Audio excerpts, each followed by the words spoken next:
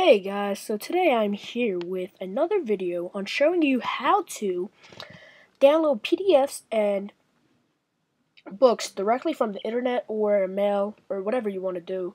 So first of all, before we start off this video, I just want to give out a loud shout out to Codraco. He's a really nice graphic designer, which is currently making my intro, well you'll see in my giveaway video. So just C O D R A C O. He's a really nice graphic designer, and he is on YouTube. So just search him up on YouTube, and you should find him.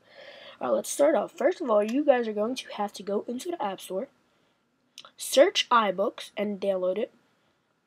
And then today I'm going to download Hunger Games from 4shared, which is an awesome website. So I, as I can see, this is a PDF. Well, it is a book as well. So if you want to actually be on 4shared, just make an account. As you see on the top, it has my email. That is my account, but there's no password. Just wait for your download link and give it 12 seconds.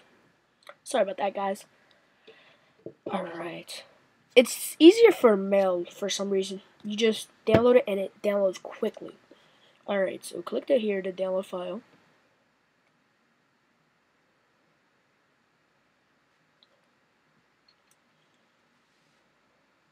Alright, and then it says open in iBooks, which you can see. Press down on that.